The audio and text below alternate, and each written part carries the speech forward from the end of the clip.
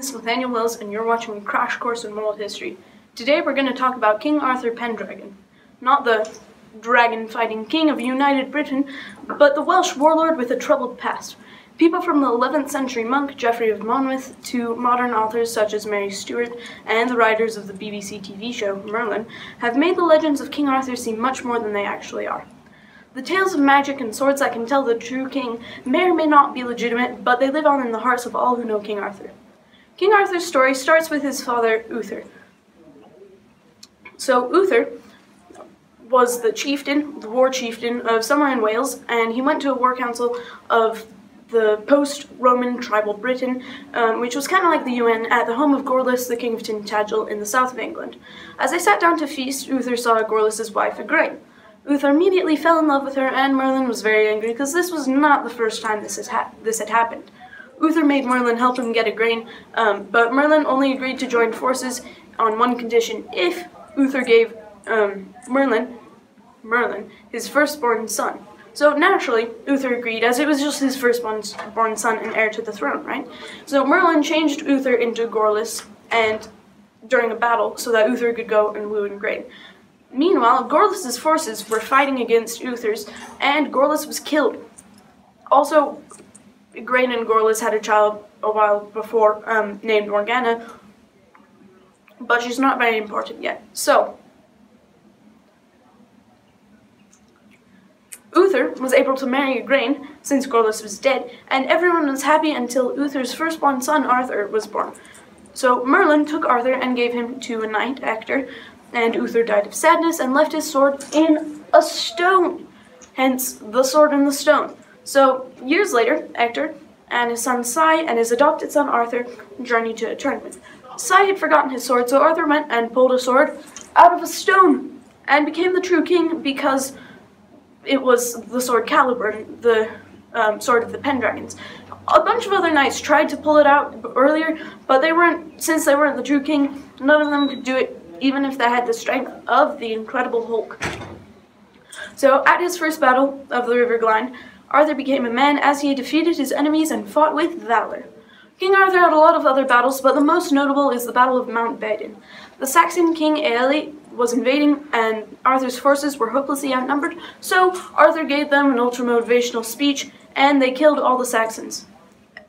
During the battle, um, Arthur's sword, Caliburn, broke, and so Merlin gave him took him to a really special lake where an enchanted hand was sticking out of the water with another sword, and that was Excalibur. Merlin also gave him a scabbard that had spells on it, so that if Arthur was wearing the scabbard, he would never be harmed in battle. So after a while, Arthur got depressed because the weight of his war clan was on his young shoulders, and poof, there appeared Guinevere, and they got married and fell in love. So they got a giant table for a wedding present, which was the round table. Before I go on to talk about the knights, let me tell you about their children. So in some myths, Arthur dies childless and alone.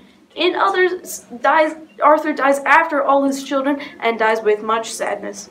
His children include Amhar, who was killed by King Arthur in mysterious circumstances, um, who was killed at the Battle of Camlan, Gwydrag, who was killed by a giant boar, Cleichu, um, who was killed by Sai, so Sai could take the glory of killing a dragon for himself. So on to the Knights of the Round Table. So different legends show from 12 to 150 knights. The most famous are Galahad, who found the Holy Grail, Bedivere, or Bedwyr, who was with Arthur at the death of King Arthur, um, Sai, Ector's son, who killed um, Arthur's son for glory, and Gawain. So Sir Gawain, also known as Gwalchmai in the original Welsh, is my personal favorite. Gawain takes a challenge issued by the Green Knight and is so pure of heart that he is saved and saves the Green Knight from a spell.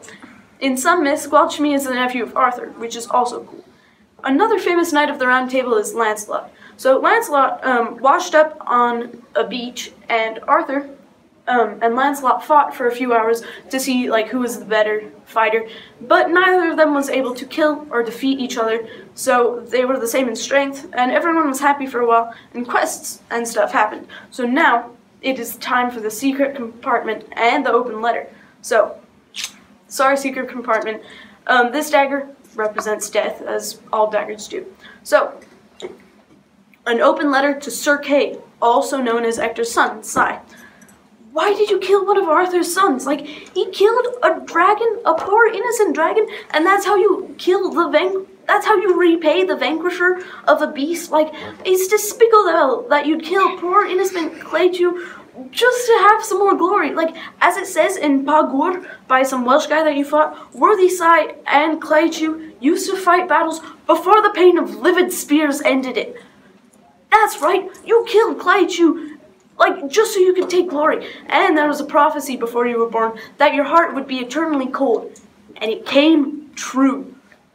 So it's all thanks to you that Arthur lost another one of his sons. Sincerely, Nathaniel Wells.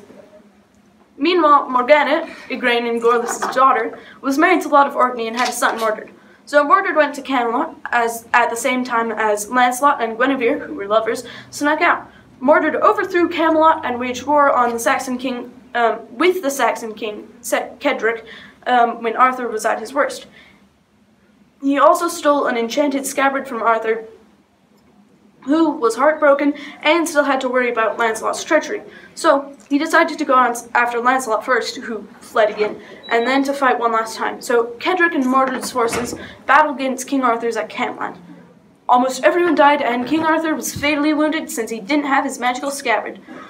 So he managed to put his sword through the skull of his nephew, Mordred, and as Arthur lay dying, his knights moved him to the lake where he got Excalibur. So Arthur told Bedwyr, or Bedivere, to go and throw Excalibur back into the lake. Bedwyr was ready to um, to throw it back until he read the words on the blade, which said, Take me up.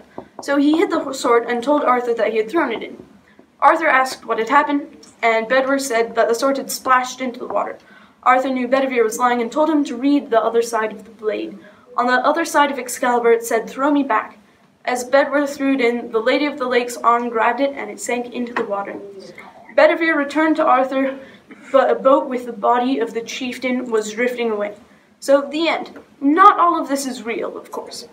We know that there was a war chieftain in Wales who lived um, from 482 and 537 AD and was named Arthur, although he may have abdicated um, after the Battle of Camlan and gone to France to die in 562.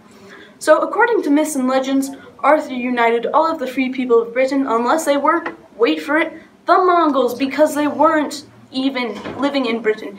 Although much of the story is probably fictional, it gave and still gives inspiration to generations worldwide. Thank you for watching, and as, it, as they say in our hometown, don't eat me.